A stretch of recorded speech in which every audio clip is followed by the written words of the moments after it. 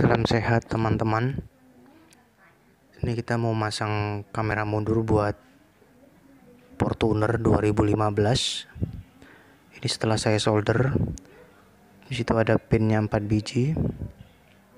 Dan yang ini yang merah buat ter api mundur reverse.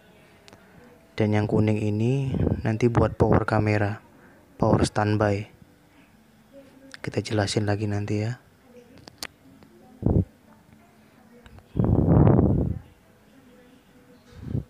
Nah ini head unitnya Fortuner 2015 Saya cuma nambah kabel ini teman-teman Dari kabel kamera tadi kan.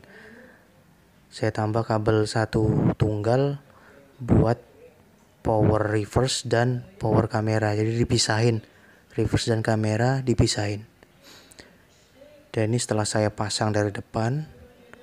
Nah ini yang hijau ini buat reverse dan yang de dari depan tadi untuk power kamera.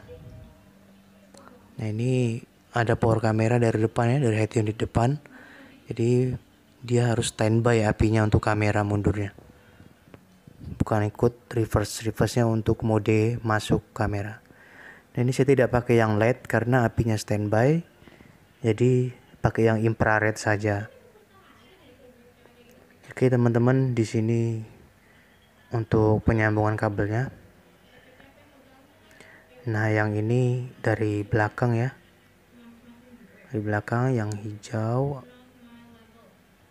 Jadi untuk yang mode masuk AV kameranya, masuk video kameranya ini di pin nomor 2 dari atas sebelah kanan. Satu biji aja saya pakai teman-teman ada soket seperti ini boleh lebih bagus. Tapi kalau tidak ya langsung sambung diputus kabelnya. Dan yang hijau ini nah itu saya ngambil dari api mundur lampu mundur yang hijau ini. Hijau ini lampu mundur ke soket yang abu-abu nah ini paling kiri. Kita solderkan ke paling kiri jika pakai sekun boleh disolder apa adanya aja lah teman-teman. Jadi ini untuk masuk mode kamera. Dan yang untuk power kamera dia harus standby teman-teman. Jadi kemari ya nih standby ke untuk power kamera.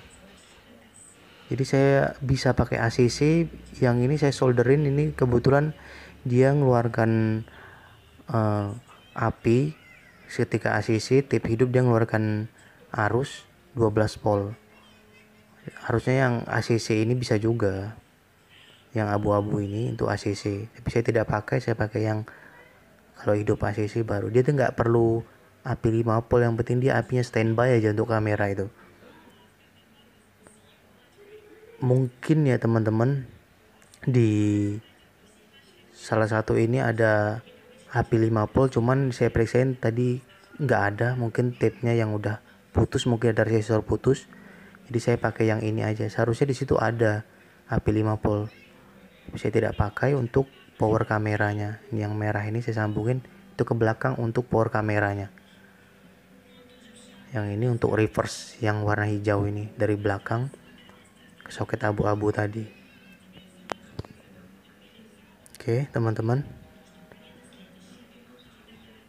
Ingat ya yang ini buat power kamera Power standby hidup tape langsung. Boleh ACC boleh.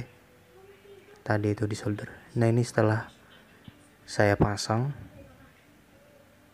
Kita coba. Kita on langsung on. Ini ceritanya yang punya nggak mau ganti head unit. Jadinya maunya yang tape originalnya dipasang kamera gitu. Padahal tape-nya sudah agak burap agak buram-buram gitu ya tengahnya itu. Tapi ya sudah itu permintaan customer kita turutin. Jadi nggak mau ganti head unit kameranya aja ditambah yang penting bisa nampak mundur.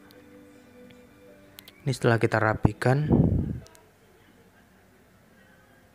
seperti ini. Intinya tadi itu ya tadi arus kameranya harus standby 12 volt nggak apa-apa.